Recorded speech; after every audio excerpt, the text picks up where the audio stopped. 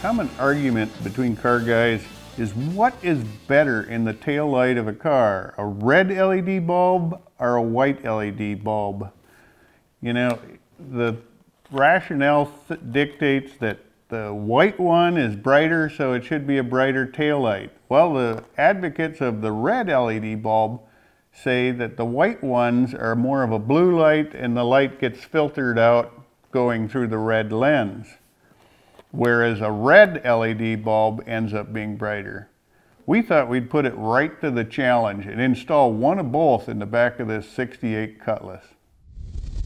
We'll put the red bulb in this side and the white LED bulb in this side.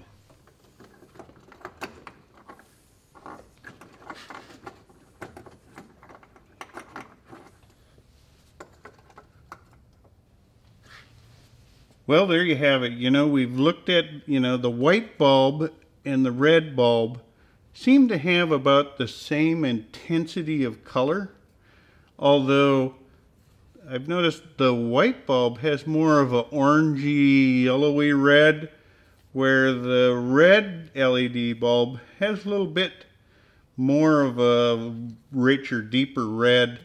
Uh, for my money, the red bulb seems to take the cake but I'm sure some people might take the other standpoint.